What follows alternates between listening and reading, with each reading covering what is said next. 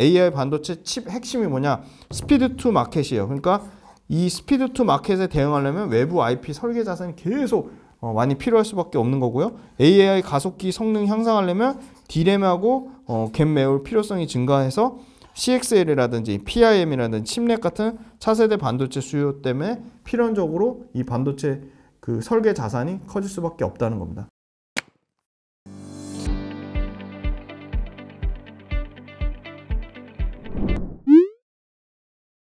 네, 안녕하세요. 김지윤의 훈훈한 주식의 김지윤입니다.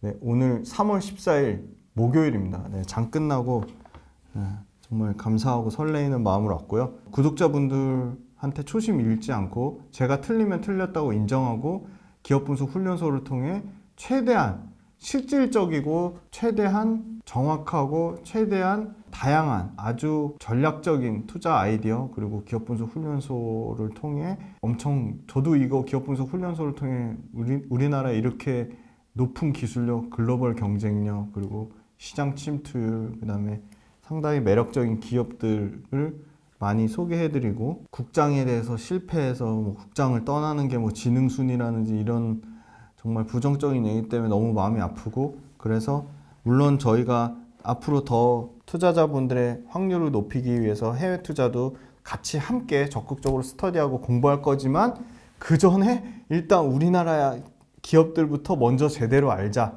네. 그래서 오늘은 아주 최근에 주가가 상당히 견조하죠. 근데 단 어제하고 오늘 보니까 흐름 보니까 반도체 기관 쪽에서 기관 그렇게 좋다고 얘기하자면 차익 실현 물량이 좀 나옵니다. 추세적으로는 좀 지켜봐야겠지만 그래서 반도체도 계속 좋다 좋다 뭐 AI AI 뭐 엄청나게 HBM, HBM 하지만 언젠간 팔 물량들이 분명히 나온다는 거고요. 그래서 그게 연속성이 있는지 굉장히 주도 면밀하게 외국인 기관 수급 현황을 살펴보셔야 됩니다. 자, 오픈 엣지 테크놀로지 오늘 준비했는데요. 삼성전자 기업들과 IP 생태계 확대, 수주 더 키운다. IP가 뭐죠? IP? IP 설계 자산입니다. 설계 자산. 오픈엣지 테크놀로지 IP, LX 세미콘의 시스템 반도체 탑재, 오픈엣지 테크놀로지 on-device AI의 수혜, 라이센스 로열티 매출 본격화, 샘 올트먼 펀딩의 기대감 커지는 AI 칩 벤처, 가온칩스 오픈엣지 디벡스, 오픈엣지 테크놀로지 연간 흑자 전환 본격 시동, 오픈엣지 테크놀로지 상장 후 첫 분기 흑자, 미국 증시 끌어올린 엔비디아 한국도 시스템 반도체주 주목. 자, 엄청난 용어들이 나오잖아요. IP가 뭔지, IP 뭔지 아세요? on-device가 뭔지 아세요? 시스템 반도체가 뭔지 아세요? 이런 거는 다 기본적으로 개념을 나만의 투자 노트에 꼭 정리해 두셨으면 좋겠습니다. CXL이 뭔지 아세요? PIM이 뭔지 아세요? 칩넷이 뭔지 아세요? 이게 다 일단 용어부터 정리가 안 되시면 투자하시는 아예 기초, 우리 한글 배울 때 기역도 모르고 시작하시는 거예요. 현대차증권 오픈엣지 IP 차세대 반도체 수요 증가 수혜. TSMC foundry 회복세에 한국 반도체 IP design house 뭐죠? 양산 볼륨 키우는 오픈 엣지 테크놀로지 LX 세미콘 협업. 오픈 엣지 하반기 20, 22나노 LPDDR4 PHY IP 제품 양산. 자 질문 드렸던 거. 아 그리고 댓글에 열심히 제가 질문 드린 거 아주 그 뭐죠? 무형 그 소형 헬기. 예. 그렇게 길게 이렇게 달아주신 분들 네, 너무 감사합니다. 숙제 내주시면 열심히 하셨으면 좋겠어요. 그래서 디자인 하우스 뭔지 IP는 제가 설명해 드렸고 CXL, 디자인 하우스, CXL, PIM, 칩넷 자 이게 뭔지 네, 댓글로 공부하신 내용을 적어주시면 네, 너무 감사할 것 같습니다. 자 오픈 엣지 테크놀로지는 사실은 이 자람 테크놀로지 네, 자람 테크놀로지가 이현상 같죠? 네, 오늘 박살 나던데 이런 회사들하고 상대적인 비교를 하기 위해서 가져왔습니다. 자, neuromorphic 반도체의 이 관련주들이랑 수혜주예요. 자, 쉽게 말하면 NPU라고 하죠. NPU. 네. 지수가 코스피 코스닥 모두 네, 3월 7일 이거 아닙니다. 네, 3월 13일입니다. 네, 오타입니다. 3월 13일 어제 종가 기준으로 다 양전했죠. 가온칩스가 65% 올랐고 네, 자람 테크놀로지가 167% 올랐네요. 그리고 네페스아크가 40%, 에이직랜드가 23%, 오픈엣지 테크놀로지가 22%. 네. 그리고 neuromorphic 관련주는 평균 최고점 대비 하락률이 네, 20% 미만이네요. 상당히 전부 다 주가가 좋다. 뭐 네페스 빼고는 다 20%대네요. 그죠? 실적 현황을 봤더니 영업이익률 오, 자람 테크놀로지 올해 이제 흑전할 것으로 예상하는데 네, 올해 15% 정도 영업이익률 예상하고요. 네페스 아크가 13%, 오픈엣지가 6%, 에이징랜드가 11%, 가온칩스가 8% 예상하고요. 가온칩스가 올해 매출 66% 늘어날 걸 보고 근데 이거 계속 말씀드려요. 매출 사이즈가 중요하다. 오픈엣지 오 114% 늘어날 거로 보이고 자람 테크놀로지 391% 늘어날 거로 보여요. 그다음에 내년에도 가온칩스는 54%, 오픈엣지 64%, 자람 테크놀로지 33%. 그다음에 영업이익은 가온칩스가 올해 99% 늘어날 거로 보이고요. 에이직랜드가 124%, 자람 테크놀로지가 네, 올해 흑전 예상하고요. 영업이익 25년도에는 자람 테크놀로지가 489% 늘어날 것으로 보이고요. 아, 오픈엣지가 네, 가장 top이죠. 25년도에는 오픈엣지가 489%, 자람 테크놀로지가 100%, 네페스 아크가 121%. 그래서 이거 가장 많이 겹치죠. 가온칩스가 하나, 둘, 셋, 네 개. 그죠? 오픈 엣지가 하나, 둘, 셋, 네 개인데 가온칩스는 작년 거고요. 오픈 엣지는 올해 하고 내년에 매출과 이 성장률이 더 좋으니까 가온칩스는 이미 다뤄드렸고 그래서 오픈 엣지를 말씀드리는 거고요. 네, 자람 테크놀로지도 뭐 영업이익률이라든지 매출, 네, 이익 많이 겹치네요. 그죠? 근데 보니까 좀 싸지면 말씀드릴게요. 이게 공모가가 네, 자람 테크놀로지 공모가 2만 2천 원인데 지금 주가가 얼마죠? 8만 2천 원이죠. 8만 2,700원 지금. 공모가 대비 벌써 이미 4배 올랐어요. 그러니까 이게 이거를 뭐 집중적으로 말씀드리기는 어렵고 공모가 수준으로까지는 안 떨어지더라도 예, 정상 가격이 분명히 이게 올 겁니다. 단기간에 너무 과열 급등했고요. 그런데 다행인 건 자람 테크놀로지도 추정치긴 하지만 올해 540억 내년에 720억 매출이 성장하고 올해 80억 이익 나올 것으로 예상을 하고 있어요. 제가 보려고 하는 오픈 엣지, 오픈 엣지는 올해 364억에 오픈 엣지도 24억 흑자 전환하고요. 내년에 595억에 130억까지 139억까지 이익이 거의 5배 가까이 늘어나려고 하죠. 천억대 올해 매출 나오는 거는 가온칩스랑 에이직랜드예요. 그래서 여기 다 공부 가온칩스 말씀드렸고 에이직랜드도 꼭 좀 다뤄주셨으면 한다고 댓글 달아주시면 에이직랜드도 한번 검토해 보겠습니다. 가온칩스, 에이직랜드 모두 올해는 천억대 예상하고요. 오, 네페스 아크가 매출 사이즈는 제일 크네요. 예. 근데 주력이 뭐냐?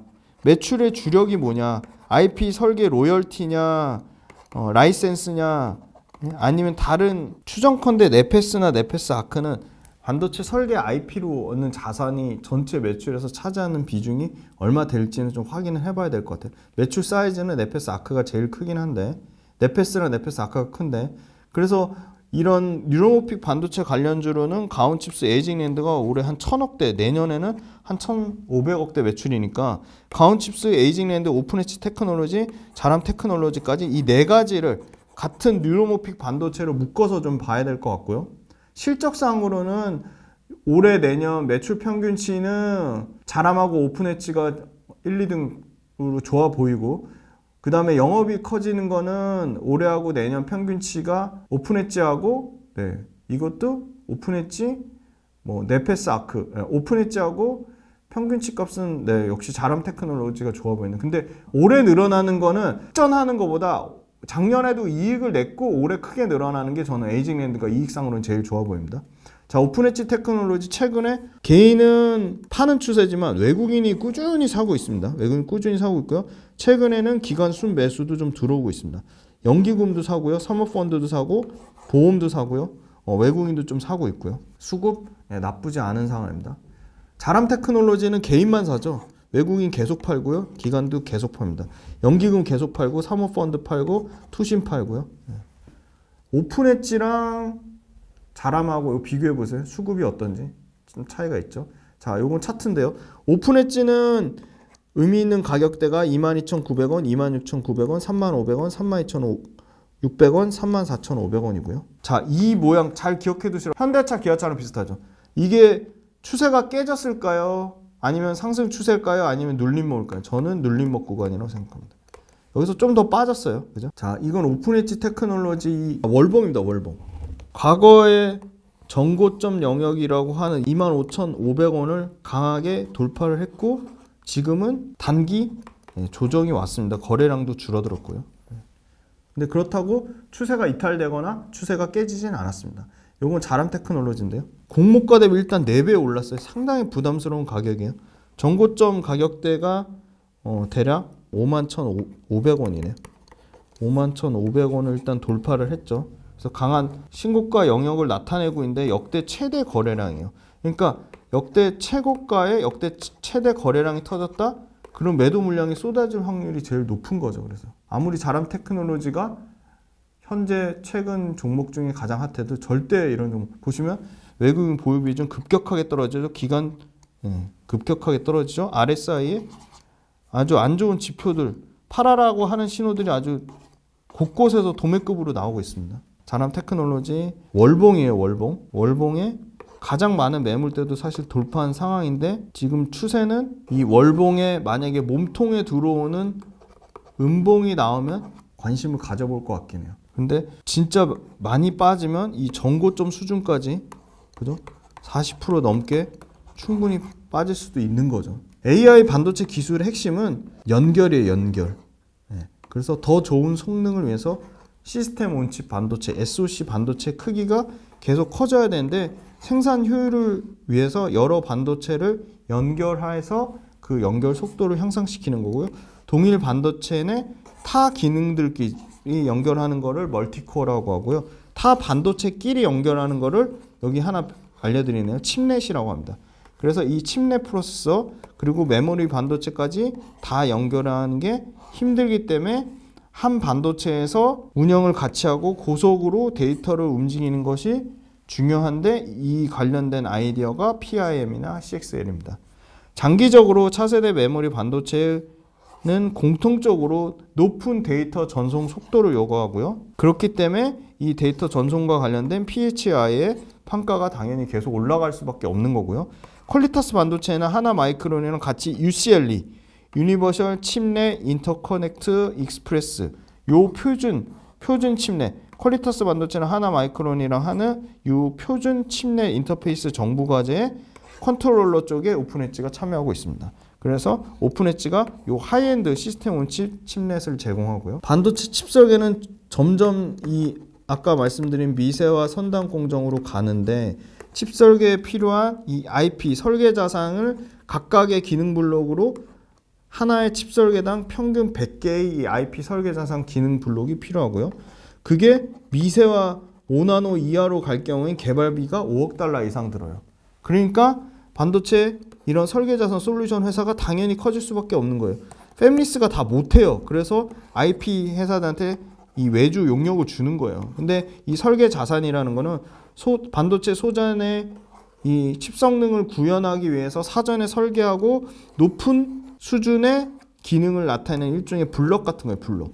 근데 공정 미세화 때문에 칩 설계에 필요한 IP를 모두 개발하기가 어렵기 때문에 당연히 개발 안 하고 특정 설계 자산의 강한 업체 거를 여기저기서 받아서 구매해서 쓰는 게 훨씬 설계 시간도 줄어들고 비용도 줄어들고 인건비도 줄어들고 각 IP를 다 팹리스 업체가 일일이 다 개발하는 거에 대한 실패 위험을 최소화할 수 있다는 거죠. 설계 IP 시장은 당연히 커질 수밖에 없는 거고요. 그래서 이 오픈 엣지 테크놀로지가 뭘 하냐면 토탈 메모리 시스템 IP를 해요. DDR 메모리 컨트롤러 플러스 on-chip interconnect 플러스 DDR PHY를 하는데 DDR 메모리 컨트롤러가 뭐냐? 스케줄링 알고리즘에 따라 칩과 D램 사이에 고속 데이터 통신을 제어하고요. D램 데이터 안정성을 보장하는 게 DDR 메모리 컨트롤러고요. on-chip interconnect는 뭐냐? 시스템 on-chip 내에 데이터 이동 시간도 최소화하고 데이터 전송 효율을 극대화하는 게 on-chip interconnect고요. DDR PHY가 뭐냐? 이거 아까 가격 올, 판가 인상했다고 했잖아요. 시스템 on-chip이랑 D램 간에 고속으로 동작이 가능하게 하는 설계 자산이에요. 거기에 오픈 엣지 테크놀로지 오픈 엣지 테크놀로지도 neuromorphic 반도체에 IP를 갖고 있다고 했잖아요. 이 neuro processing unit NPU neuromorphic 반도체 IP를 갖고 있습니다. 그 다음에 시스템 반도체 설계용 IP 설계 자산을 기술 개발하는 회사고 한국의 ARM이라고 하는 회사예요. 한국 ARM. 자, ARM은 어디가 인수하려고 하려다 실패했죠? 어딜까요? 네, 퀴즈입니다. 네, 주 고객사는 당연히 되어 있고 가온칩스 같은 디자인 하우스도 고객사가 됩니다. 당연히 그렇겠죠. 팹리스가 칩 설계하려고 이런 오픈 엣지 테크놀로지나 에이직랜드나 그죠? 퀄리타스 반도체의 설계용 IP 설계 자산을 사서 그걸로 칩을 만드는 거죠.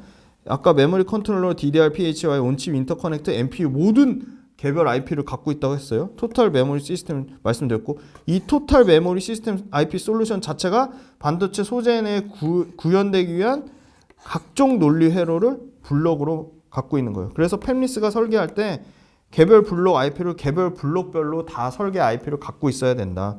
설계 기업 AMD가 GPU 설계할 때 개별 블록인 마이크로 프로세서, 메모리, 디지털 신호 처리기, 아날로그 신호 처리기, 입출력 회로 개별 IP를 모두 개발하는 게 아니라 개별 IP 잘하는 데서 사서 구매해서 처리한다는 거죠. 챗 GPT를 통해 챗 GPT를 통해서 시스템 반도체 공정별 칩 개발 비용을 봤더니 28나노 어, legacy에서는 수백만에서 천만 달러, 선단 공정 14나노 이하에서는 수천만에서 수억 달러. 그죠?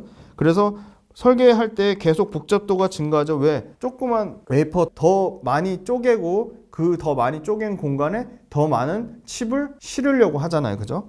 그래서 필요 IP 블록 수가 당연히 증가할 수밖에 없고요. 팹리스 업체가 설계용 IP 때문에 R&D가 인력이 추가로 확보되는 거예요. 그래서 비용 절감 측면에서 자체적으로 하는 거고요. 네, 오픈 엣지 테크놀로지는 공모가가 만 원입니다. 아까 그 제가 그거랑 자람이랑 좀 헷갈렸는데요. 자람은 아까 22,000원이었죠. 네. 근데 자람은 22,000원 대비 5배, 4.5배가 오른 거고 오픈 엣지는 지금 3만 원이 깨졌으니까 대략 2배 올랐는데 그럼 오픈 엣지 테크놀로지가 자람 테크놀로지보다 경쟁력이 없냐? 그건 아니거든요. 보세요. 오픈 엣지 테크놀로지는 LPDDR5, LPDDR5 뭐예요?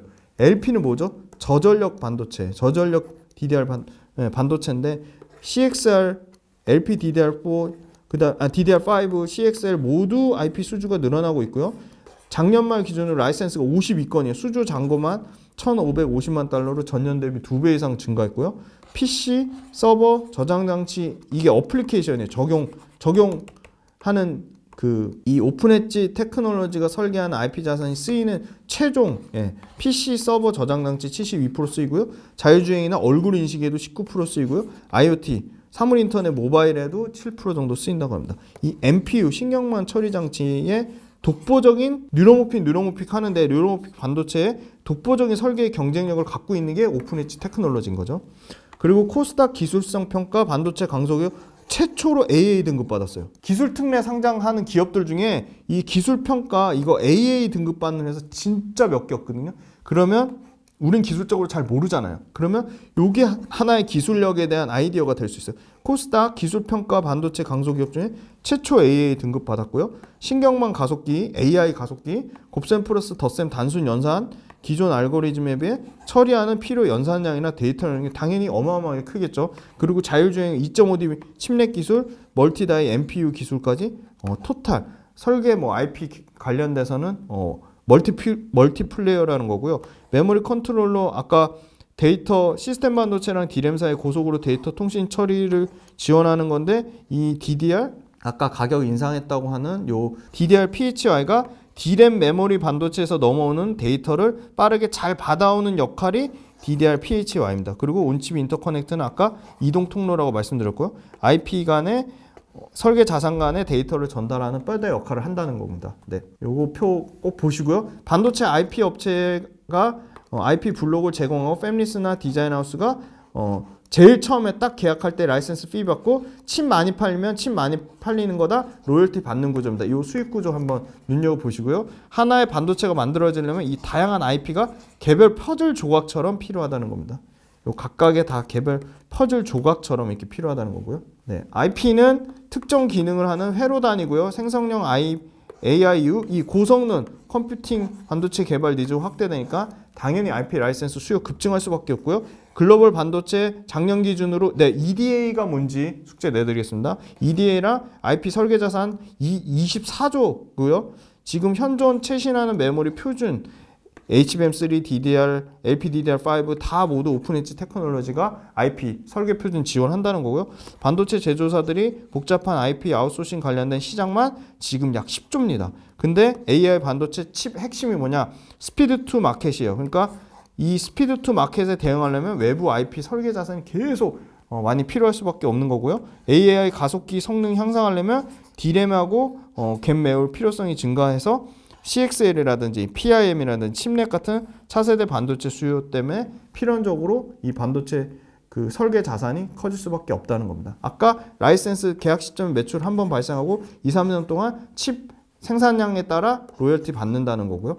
지금 오픈 엣지 아까 누적 IP 40건이 아니고 55건이죠. 그리고 최근에 어, 삼성 foundry ecosystem은 이미 18년에 됐고요. TSMC IP Alliance에 편입 중에 있습니다. 그래서 어, 오픈 엣지 테크놀로지 같은 거는 어, 대역폭 확장을 통한 고성능 연산을 지원하는 CXL이나 메모리 반도체사가 주도하는 PIM 그리고 chiplet 수요 증가로 이 multi-die interconnect IP 솔루션까지 고르게 시장 지배 어, CXL, PIM, 어, 칩넷의 모든 어, 수혜를 받을 거로 보고 있고요. 최근에 LX 세미콘이랑 LPDDR4 PHY IP 공급 계약이 2분기부터 본격적으로 양산되기 때문에 running royalty가 나올 거다. 그리고 올해는 해외 매출 비중이 50% 이상 증가하면서 영업 마진이 상당히 좋아질 걸 보고 있습니다. 그래서 반도체 IP 시장 규모는 이렇게 꾸준히 우상향하는 그림이고요. 검증된 IP를 활용하면 반도체 IP 미 활용할 때보다 개발 시간이나 비용, 뭐 코스트, 시간, 그 다음에 인건비 모든 부분에서 save할 수 있기 때문에 결국은 다 전문화된 설계 IP 블록 영역으로 갈 것이라는 겁니다. 역시나 이 미세 공정으로 갈수록 예, 이렇게 더 드라마틱하게 증가한다는 거고요. 그렇게 해서 오픈 엣지 테크놀로지 관련돼서 말씀드렸고요. 오픈 엣지 테크놀로지, 가온 칩스, 그 다음에 에이직랜드 요 세 가지 종목은 같이 비교해서 매출 사이즈가 어떻게 되는지 어, 차트상의 위치는 어떤지 외국인 기관 순매수 현황은 어떤지 그래서 설계 IP 자산은 구조적으로 커질 수밖에 없다. 미세 공정 되면 어, 미세 공정 관련된 팹리스 업체들이 어, 당연히 더 전문화되고 더 분업화된 설계 자산 IP 회사에 맡기는 거고 설계 자산 IP도 차세대 메모리 반도체로 갈수록 차세대 메모리 반도체 CXL이나 PIM이나 칩넷에 각각에 대응하는 IP 설계 자산이 있기 때문에 이걸 다 통으로 할 수 있는 오픈 엣지 테크놀로지가 더 주목받을 수밖에 없다고 보고 있습니다. 그래서 어, TSMC foundry 회복되면 한국의 반도체 IP 설계 자산이나 design house 모두 수혜를 받는데 어, TSMC, 삼성전자 모두 수혜를 받을 수 있는 회사는 어, 당연히 오픈 엣지 테크놀로지라고 보고 있습니다. 그래서 오픈 엣지 테크놀로지도 새로운 사실이 있으면 업데이트 해드릴 거고 이런 어, 설계 IP 자산 회사의 또 대표적인 회사가 어, 우리 텔레칩스 말씀드렸죠. 텔레칩스도 또 말씀, 어, 계속 업데이트 해드리도록 하겠습니다. 네, 장시간 동안 오픈 엣지 테크놀로지 들어주셔서 감사합니다. 네, 많은 구독자분들 많은 응원 부탁드리겠습니다. 감사합니다.